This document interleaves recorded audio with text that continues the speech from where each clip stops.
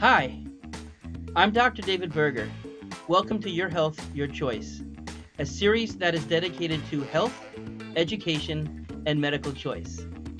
Today, I'm going to be introducing myself more to you, and I think there's no better way of doing this than to be interviewed by our executive producer of the show, who happens to be my sister, Shari Kulanu. So, Shari, welcome to the show. Hi, David. I'm so glad to be in front of the screen and having the opportunity today to introduce you to the world and to share with those who already know you more about how you came to be the person you are.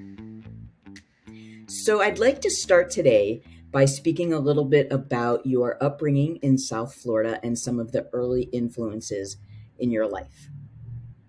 Yes, as are you, as a matter of fact. Yes, I was born in Hollywood, Florida, um, back at 1969, so pushing past 50 years now. Um, one of the few people our age who actually that we can say that we were actually born in Florida, that we are true Florida natives. Um, and yes, yeah, so from the very beginning, we had a really strong upbringing in in education, and I had the amazing opportunity of having South Florida is one of their very first pediatricians to make it to South Florida, Dr. Arnold Tanis, who really became one of my very first mentors and guiding lights, and really was the one who kind of pushed me along all all these years. Supposedly, when I was five years old, I told him I was going to be a pediatrician, just like just like he was, and we kind of held to that track all the way through. Well, I know that Dr. Tanis had a really big influence on both of us, and that he also influenced the way that you practice medicine. Um, when I was a kid, Dr. Tanis had this amazing ability to conduct a full exam without me having realized that he had done anything. I thought I was just hanging out with Dr. Tanis at his office. I didn't realize that anything had happened. And I know that that had a really big impact on you and how you then came to approach medicine. For example, I know one of the things that you decided very early on was that you would take that to the next step and not wear lab coats in the office, for example, because you wanted to have a certain demeanor with your pediatric patients. So I'm wondering if you could talk a little bit about the relationship that you try to develop and the environment that you try to create for your patients. Yeah, absolutely. You know, Dr. Tanis was a member of the family. You know, he was like our godfather. Um, we adored, we loved going to the doctor, which not everybody liked to get done, and and it was just such a positive influence. And you know, thankfully, as I kind of got into high school and I was able to start shadowing him in the in the office, I was able to start following him around the hospital when he would do his newborn rounds, and if there were any sick kids there, he then was very instrumental in helping me get into medical school, and I was actually accepted into a, an accelerated medical program where I, I got into medical school out of high school. And with that, I attended Lehigh University, that was in a combined program with the Medical College of Pennsylvania. And so it was very nice to know that out of high school that I was already in medical school and I had some minimum requirements, but unlike most pre-med students, I was able to enjoy college probably a little bit more than most because of that, which is which is pretty neat. But as far as Dr. Tanis goes, it was just that, you know, and it wasn't just for us, because in speaking with other people, he was like that for everybody. And that was something that I really, really appreciated. And so, you know, with with the patients in my practice and all along, I've always looked at them as my nieces and my nephews, as my godchildren, and and to be invested in them and invested in their lives. And you know whenever we get to, whenever i have an appointment i'm i'm always first like hey what's going on? You guys go on any vacations? What's fun in your life? What's going on? Any life events? Because i feel that's so much one of the things that's missing in mainstream medicine in in industrial medicine is that personal touch you know, very rarely do people actually get to see their same doctor all the time these days. They're in these very large groups. And that's kind of the antithesis of, of the way I really wanted to develop it. We we created our office to look like you were coming into my home with a waiting room that looks like a living room. You, you we don't wear white coats we um, I, I, use our couch as an exam table. We don't even I, we have a procedure table in another room. But you come in and you're hanging out with me, and I'm able to educate and and work with people on such a level. And if a kid's wanting to have a, a fit on the floor, the kid has a fit on the floor. If the kid decides to climb on the tables and climb on the chairs, the kid climbs on the tables and chairs because we want them to be comfortable and feel like they're at a home because we know that that's part of that relationship, and that when it comes time for me to examine a child, that they just kind of, as Shari, as you said, that it's it's almost like it's happening. In fact, when I when I teach my students who come, I, I'm on the faculty at University of South Florida in the College of Nursing, and so we have nurse practitioner students who rotate through our office. And one of the things I'll even sh- uh, tell them when when I'm examining a, ch- a children, watch what I'm doing with my elbows, with my forearms. Just note the art of the examination, not just the science of what we're doing. Because to get a young child, a toddler, a special needs child to actually sit there and be quiet enough or still enough in order to do a proper physical exam or how to manipulate my elbows and my arms in such a way that I can actually get into look in someone's ear listen to the heart feel their belly um, and they're totally comfortable in what in what I'm doing with them. They, they they don't even realize again what I'm doing. And the students afterwards are like oh well that's how you examine a child and so that that's all part of the comfort level. And then of course as you know i've been doing this for over 20 years now and so now i have patients who are teenagers and to have that type of relationship with them now that you know that they can come to me as an adult that they know and that they trust that they've gotten good advice from and you know some of the things that i've heard from that teens have have divulged to me through the years i mean it's sometimes the that are shocking because that would be expected with with teenagers but at the same time they they know me and they know that i'm going to give them a fair shake. They know i'm not going to judge them and that's all part of the relationship that i want to have with them and now i'm actually starting to have patients who have kids of their own now in the second generation and it's just that circle of life that comes around and that they want me to be their kids pediatrician because they had such a, a positive interaction with me to start off with and that's probably the most grateful thing I am into this job is those relationships that I have with people and the mutual trust that we're able to develop.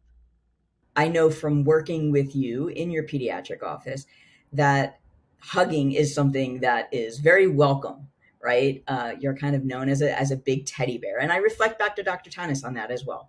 I remember that one of the things I used to love about going to Dr. Tanis's office was, man, I got a really big bear hug from Dr. Tanis. And it's interesting. We'll talk a little bit later about, as a pediatrician, how you evolved into treating adults, which is something you also do. And I reflect back on when I was going to college and having sort of a final exam, so to speak, with Dr. Tanis to get my paperwork in order for college. And he had said to me, he said, You know, you're getting to the age where it might be time for you to get a big people's doctor. And I remember kind of giggling because I was 18 years old and saying big people's doctor just seemed, you know, like he was still talking to me as a little kid, but I got it. But there was a part of me that wished that wasn't having to be the case. I wished I would have been able to continue to work with him. So we'll we'll circle back around to that later and some of the work that you do with adults as well. You mentioned you attending Lehigh for undergraduate, which was part of a six year medical program with the Medical College of Pennsylvania uh, outside of Philadelphia. Now, you, instead of doing it as a six year med program, decided even before you started college that you were going to turn that into a seven year program. And I'm wondering if you could share with us why you made that decision. Yeah, certainly. I didn't feel the need to rush into it all. Um, I didn't feel that the six-year program was like taking 18 to 21 credits each semester. Each uh, semester, um, it required going over the summertime, and I didn't feel that there was. If I was going to go to college, I wanted to be enjoying the college life experience as much as I can, and I knew my professional life was going to be there, and I was able to come home for summers and, and take it a little easier and you know i'm i'm kind of a chill guy in the first place and so i'm i'm i'm, I'm trying to keep the stress minimal in my life as much as i can being a physician of course. But just to have those types of more, more freedom to be able to enjoy and one of the beautiful things about the program itself one of the things about medical college of pennsylvania is that it was actually women's medical college of pennsylvania which is the first medical college for women in the united states. And it was actually all women until 1970 and my class was the first that was 50% guys. The administration most of the teachers faculty were women and we were really taught a more humanistic approach than friends of mine who went to university of miami university of florida and elsewhere. In fact we had the opportunity in college we were told don't worry so much about your grade. Get a well rounded education. Take art classes, take foreign language classes, take philosophy classes, things that would not be typically part of a pre med curriculum. We even have the opportunity of having a, a master's of arts and take art classes and history of medicine and women in medicine as part of a medical school curriculum, too. So I really felt that that womanly touch was so much a part of our original um, upbringing that I think was another thing that transferred me into seeing the relationship that we had with Dr. Tanis and then also seeing how you can apply this to humanity and and that was a really special thing that that i don't think you would have happened at any other university so I, I, was very fortunate because that really helped me and my person from my personality and who i am to feel comfort with the type of, of field that i was going into so I know that as, by doing it in a seven year program, like you said, you were able to take different types of courses. I remember the only time I remember since you were five years old and I was three that you even questioned whether you were wanting to be a pediatrician is when you took an undergraduate class in journalism and declared, oh, maybe I should do sports journalism. It was like this moment of you having like a thought of like one other thing that you thought you could really love. And then you realized you were still going to be a doctor. um, but I was wondering well, if. It, yeah. Well, it's, it's, it's actually even one step further funny that because I, I made that announcement to our parents um, at, at, at Parents Weekend, and I honor my parents so much for not completely losing their mind at that point. Here I was accepted into medical school. We had this whole thing, and I'm like, yeah, may- maybe I'm not going to do that. And I know internally I found afterwards that it kind of blew up on them, but they, they did a great job keeping it together and supporting me and and and making me feel like it was important for me to make the decisions on, on my own and and I really honored them for doing that because I could imagine that might not have gone so well and it went as well as it could and they gave me the latitude and the freedom to kind of assess again what was really important and what I wanted to pursue in life and you know fortunately I, I, I came back around after that after that half a semester and said nah I think being a doctor would be a really good idea. Being a pediatrician would be a really good idea. So yeah, thank you, mom and dad, for that. So when you were wrapping up your time at Medical College of Pennsylvania, you had one of the biggest decisions that is before any future pediatrician, which is where are you going to do your residency? And I know that you had a lot of options before you, and you ultimately selected to go to the University of South Florida's Tampa General Hospital. And I'm wondering if you could tell us why. Yeah. So when we graduate medical school during our last year, we all visit different residency programs and we rank them based upon our order of preference. And the residency programs also rank us based upon their order of preference. And i had i, I you know had a, a, uh, interviews at uh, at harvard and at stanford and at university of south uh, university of California, san, uh, san francisco and emory. And I really fell in love with Tampa General. It was a smaller program. Um, it's in a dramatic setting, right on the um, on the end of an island that's overlooking Tampa Bay. You take a bridge driving in. the The pediatric department was actually on the top floor, overlooking these huge bay windows, overlooking with the sun setting behind it, and it was just a really warm, comfortable feeling. It didn't feel so mechanical. It didn't feel um, so intellectual that it, that it was the type of thing that just kind of felt very comfortable to me. And when I went for the interview and we went to lunch with the different residents, we didn't talk all about science and, and health. We talked about sports and we talked about music and we talked about the things that we enjoy doing. And of course, we talked some about health and science as well. And the thing that really grabbed me was two things. Number one is that they had two days of outpatient clinic per week whereas most of the centers of the of the other residencies had one. And I knew I was going to be an outpatient pediatrician, and so I felt it would give me twice the amount of experience at the other programs. The second thing is that because it was a smaller program, it did not have a lot of what we, are fellows. So once a person finishes their residency, if they want to be, a, say, a pediatric cardiologist or a pediatric pulmonologist, they then go into do additional training, which is a fellowship in most of the big programs, the fellows ran the show. But without having fellows, we got to run the show as residents. I got to run the ICU. I got to run the emergency room. All that experience, all those cool cases, being involved in surgeries um, and deliveries, I wouldn't have had that level of experience if there were so many people above me. So I really felt that I got just so much more hands on experience than I would have pretty much anywhere else. And I really appreciate that about the program. I know that one of the things you've shared with me over the years is the the specific type of clinical experience that you got, and one of the other mentors that you met later in life um, through the University of South Florida, uh, the residency program being at Tampa General Hospital, and that was Dr. Barness. I'm wondering if you could introduce who Dr. Barness is and how he became such a big influence on how you developed your medic your medical philosophy. Yeah. So Dr. Lou Barness is probably considered the the grandfather, great grandfather of modern pediatric medicine. Um, he was at Hopkins before that. He actually trained Frank Oski, who became both the president of the Academy of Pediatrics and literally wrote the textbook. The uh, there were two pediatric textbooks that we could have used: the Oski textbook and the Nelson textbook, and and so his his initial mentor actually wrote the book. But Dr. Barness was all about nutrition and breastfeeding. He was really one of the first breastfeeding advocates in the nation from a from a, from a pediatrician. And he would come into our clinics every time and tell us, "Don't use this medicine. Don't use this medicine. Learn about B vitamins. Learn about breastfeeding. Let the body heal itself."